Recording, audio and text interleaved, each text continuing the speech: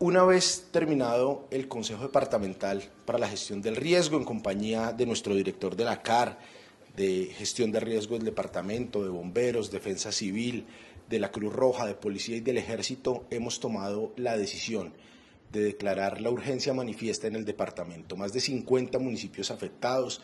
pérdidas de vidas humanas, muchas bancadas, vías eh, afectadas, no solo por los ríos, sino por las lluvias que afectan en este momento a nuestro departamento. En este momento todos los combos de maquinaria están en territorio. Está todo el personal de la gobernación trabajando, apoyando a los damnificados. Con esta urgencia vamos a poder alquilar maquinaria adicional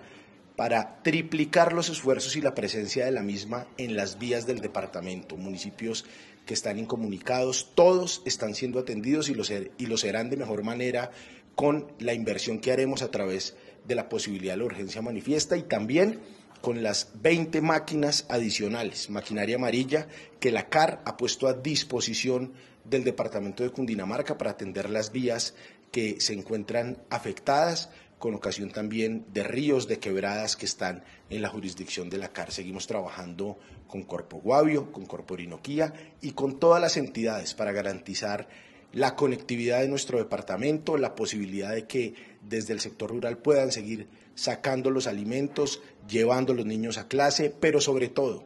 trabajando para que no tengamos más pérdidas humanas en el departamento de Cundinamarca.